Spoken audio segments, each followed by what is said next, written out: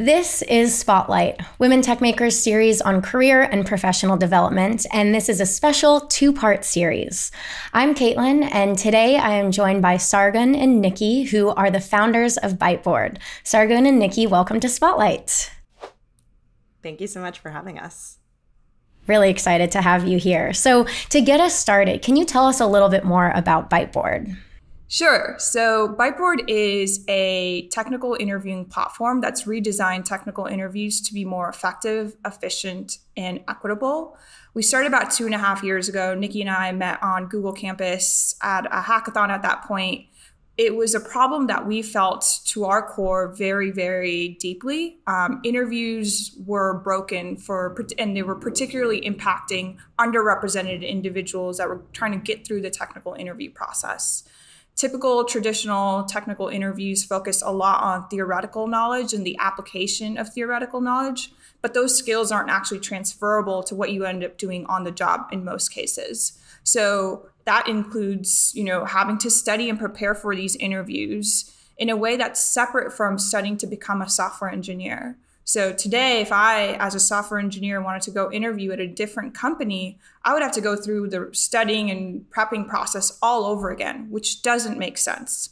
So we've created a, an interview that focuses on actual skills that are used on the job in an environment that's very similar to working on a project as you would in school or as you would do, do on the first day of your of your job in a technical team. And all our interviews in terms of candidate materials are anonymized to ensure that the evaluation is as unbiased as possible. We have really structured rubrics tied in with our evaluation to ensure objectiveness and how evaluation is being done.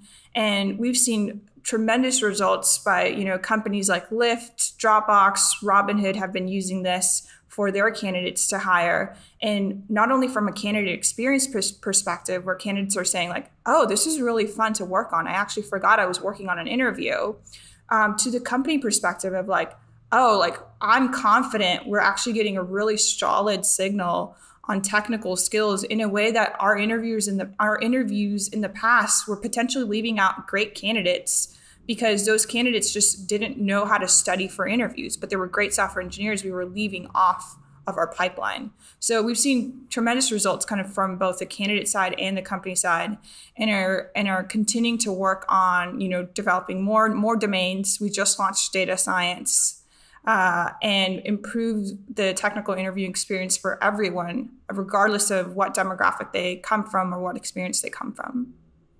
That's great. And so, can you take us back to that first meeting between the two of you? How did this idea come to be? What was that initial sort of step?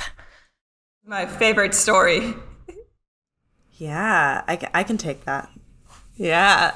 Um, so so Sargun and I met at an, a startup weekend um, that was put on by Area 120, and Area 120 is Google's internal startup incubator. And so we were both, you know, Google employees who found out about this awesome startup weekend that was happening that was focused on social entrepreneurship. So thinking about how can we utilize, you know, business and enterprise in order to actually motivate social good. And I think both of us were very passionate about social impact. And so we were really excited about this prospect of going um, to the startup weekend, getting to kind of work with people on a project, and, and hopefully potentially come up with an idea that actually had real impact. Um, so we both go to this startup weekend. Um, we both pitch different ideas we don't end up on the same team. So so she ends up working on a really cool idea. I end up working on a different idea. Um, and I, basically at the end of the weekend, you you you pitched your idea in a kind of a competition format. Um, and if you won this competition, you kind of got a golden ticket um, to pitch Area 120. Um, neither of our ideas ended up winning this golden ticket. Um, but really, I think we are the ones that won because we met each other at this startup weekend. Um, so we met at the startup weekend. We were like, "Your idea is cool. You seem cool. Um, you know, maybe we should we should grab coffee or something after after all of this is over."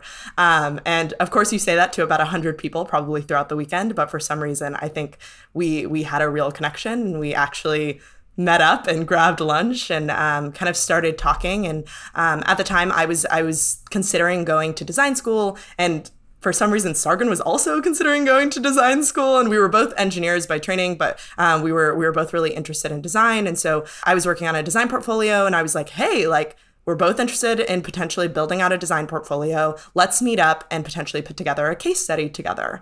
Um, and and that's kind of where where everything started happening. So, Sargun, do you want to kind of take on what what that first um, kind of meetup looked like when we worked on our what was supposed to be a portfolio that turned into a a business?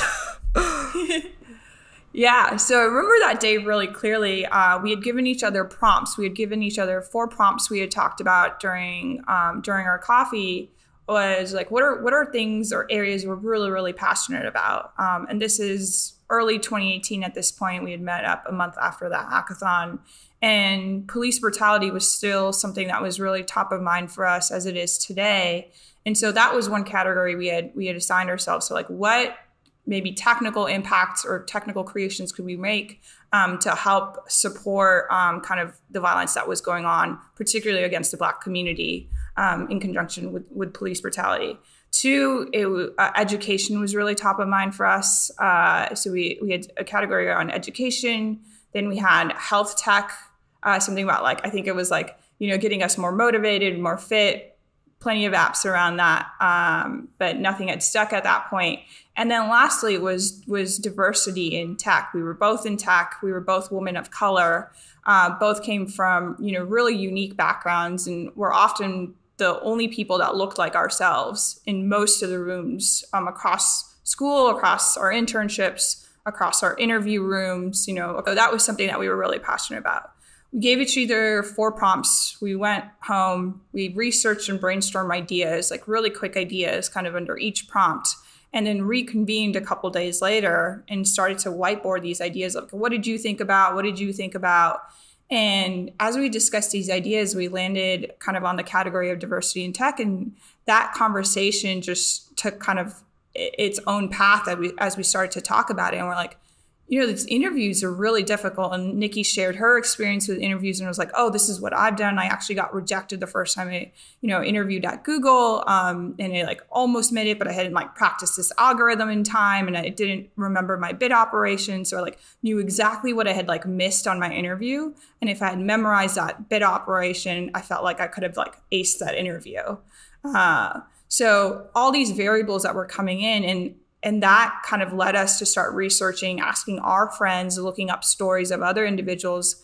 And we found that it was just, there was so much out there of people feeling very, very similarly about interviews, but nothing had changed. Like, n- no one had like gone and tried to like actually re examine why are we doing these interviews and do they have to be in the format that they're being done in?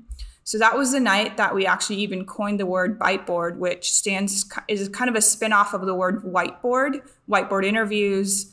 Uh, Byteboard is you're getting more bites out of an individual because it's a more holistic interview.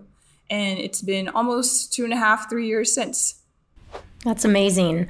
And I think it's so great to see how you kind of went through that process of thinking about different areas, but then you both kind of decided on this one really problematic area that hadn't seemed to be addressed by the greater society or people in tech. So, um, thank you for coming up with this. And uh, we'll definitely link to more information about Byteboard in the description. We're going to leave you on a little bit of a cliffhanger because next week we're going to talk with you both more about your experience as founders and what that journey, what that past two and a half years have been like. Everyone who's watching now, please make sure to tune in next week. Sargun and Nikke will be back um, and telling us more about their experience as co founders. So we'll see you then.